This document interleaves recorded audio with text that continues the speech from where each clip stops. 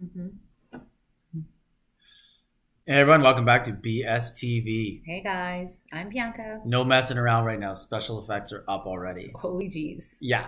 So we are talking about part two of the 90 day, before the 90 days tell all. Probably another best episode for 90 Day. Yeah, it was great. Yeah. So, in my opinion, two stars of the thing right here. Gino. Yep. Gino's awesome. I just love he gets caught in so many lies and he's just like, no, no, no, no, no, no, no. No, no, no. But he's so busted all the time. Like they have Evidence. Yeah. He's a really bad liar.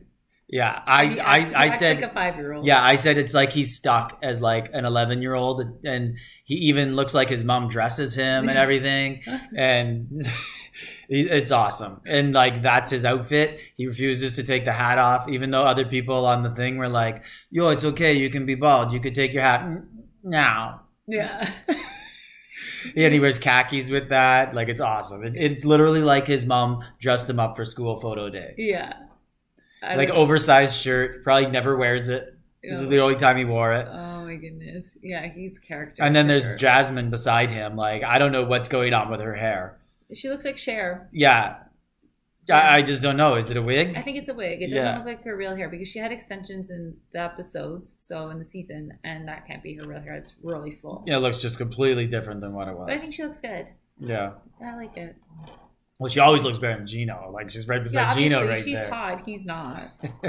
I love how, like, she will make comments, though, like, Gino, I'm so worried you're going to go back to America. You can have any woman you want in America. Don't cheat on me. Like, Gino wonder- not have any woman he wants in what she- America. I wonder what she sees about what does she see in him? well, they met on a sugar baby site. No, I know, but what does she see? Like, are we seeing somebody different? she sees an American passport and money. Oh. That's like what 90 Day is built on Mm. is figuring out like like it's all about like oh this ain't gonna work oh this person's being used Yeah. speaking of being used let's get right into Mike so oh my god, like that was so painful to watch. It was totally cringeworthy. yeah like everyone is just- he's every single crying. person And she's basically said that I don't love you I don't love you. We're not I dating. Used you for your money. Yeah. And and he's still like, oh please, baby, like stop begging. and then she leaves like she's on video cam. She leaves and then like he gets mad at everybody else for being mean to her and calling her a gold digger for making her leave. And then he's like begging the host Sean Sean. Sean Sean Shauna. Sean. Sean please please bring her back. Please is there Get anything you could do? Get her back on. oh I need her back. Yeah. and then and then his friend his friend's wife who speaks Spanish is speaking to uh Ximena and is like you're a gold digger blah blah blah. He you won't even try to learn English for him. And then like 10 minutes later Mike's like will you try to learn English for me? Will you try? Like like that that's your thought? Like you had no other thoughts about what's going wrong in your relationship but things other people pointed out now you're asking her to do those to put effort in. Like you had no other thoughts of how she could put effort in Yeah, he's um never dated anyone ever in his life i'm pretty sure yeah, it's a really sad situation, Mike. Sorry. Yeah. Like, you look really weak and you look desperate. i said to you many And- times during the season like this relationship is not going to end till mike is bankrupt yeah. she's gonna bleed him dry Yeah. and it's so obvious yeah, and he doesn't it's care. so sad He doesn't care. yeah I don't know. And then other couples, uh, they didn't really give Ella too much. They gave Ella a bit of time. Really weird. They ask her, "Have you ever cheated on Johnny another time?" She's like, "No." They're like, "What about your birthday party where you flew a man in?" It's like, Yeah. how do they know this? Yeah, I don't know. Like, are they stalking them? They have cameras on them all the time. Or, or is Ella's storyline so bad and so boring because she never even met Johnny that they're like, "Hey, give us something that we can kind of make you a little yeah, popular." Yeah, maybe. It's Like, always, like, like it's maybe a that was bit it. scripted as well, Yeah. right? Reality TV, we know that. So I wouldn't be surprised if they made that up, or she just went along with the storyline, or you know, Yeah, and then the Usman one, they didn't really talk too much. They talked a little bit about him talking with Zara on the phone, but they didn't get too much airtime. Well, I thought it was weird when uh, Memphis just up and left and left Hamza. I, I'm feeling sick right before her turn to go. yeah, so so a couple of things there. The only thing I was going to say with Usman,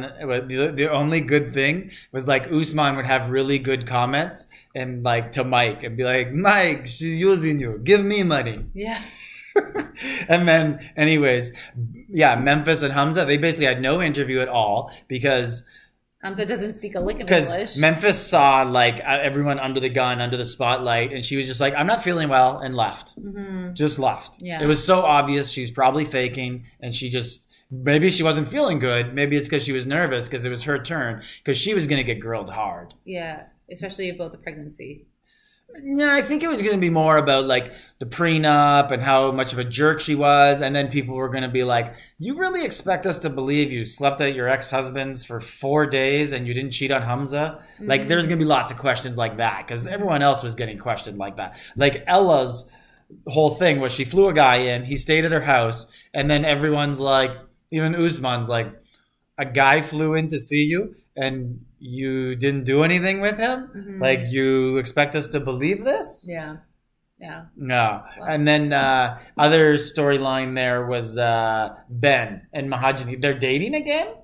Yeah, apparently. But then I think they broke up after that show. Yeah, I think they broke up at the end of the show, yeah, kind of. Yeah, and that was really weird. Like the whole drama between his friend, what was her name, Jessica, Mm-hmm. that apparently messaged Gino. Gino claims she Wink, wink, messaged we him know first. Gino though, the real Nah, nah, nah, nah. I'm not showing my phone. and um, yeah, but um, yeah, so Mahogany and her got into a big fight, and then she, Jessica, Ben's friend, just lost it on Ben, saying that he's a really bad friend and he doesn't tell the truth, and he's I don't know whatever other word she used, like she didn't want to be his friend anymore. I don't know where that all came So from. she was upset because when they were interviewing Mahogany about Jessica, uh, she said, I don't want to say anything that'll ruin friendships. And then, like, it's like, oh, they're like, come on. Oh, twist my arm. Okay, well, I heard she's really dramatic. So Mhm. then, obviously, Jessica knows Ben told her she was dramatic and talking behind her back. So that's why she lost it on Ben. yeah, but like it just creates more drama. I Yeah, so understand. it was true. She is dramatic. yeah for sure. Yeah. Anyways, that was Maybe she also just wants to be part of the 90 Day franchise and had to get her screen time.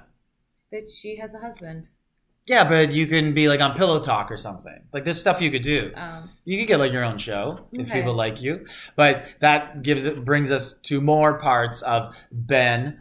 I just loved Ben was like going full pastor on everybody and just dishing out advice on everybody's relationships, Yeah. telling everybody what they need to do. Hey, I'm here for you. Just feel like you need some advice. It's like your relationship was one of the worst on the show. yeah. You just and then he he had the nerve to like have an interview with TLC at the end and say, "I just feel like there's not a lot of strong men on this season. Like the men were really weak and really controlled in their relationships." And it's like you your girl didn't even sleep over at your apartment once. She left you. Yeah, you chased her around the country. She didn't meet you at the airport. She told you not to come. You still went. You begged her to meet you at the airport. She didn't come. Then you drove to her home city, begged her to come to a restaurant. Then she left you high and dry, four hours away from the home city and airport, and you had to take a taxi back, and you're still begging her to be with you. Like, you are captain, not strong man on this season. Mhm. The only strong man on this whole season is Usman. Yeah. He's sure. the only guy who like actually has a backbone and would just be like, "Hey, you're mad at me? Goodbye." And he'd walk away and then the female would beg him to come back. Yeah. Yeah. Maybe he's a jerk, but for doing things like that sometimes, but he is the only guy who did not just put his tail between his legs anytime anything happened. And actually, Gino a little bit too. hmm Yeah. In an immature, standoffish way, Gino would stand up for himself. hmm hmm Everyone else would just be like, "You need more money. You need this. What'll make you like me?" Yeah. But I, I they have the previews out for next season. Uh, what do you think? I didn't see them.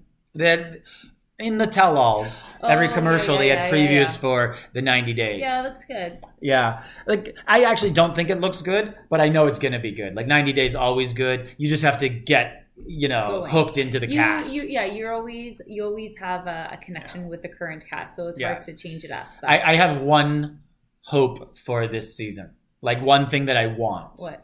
I want Biniyam to have a backbone.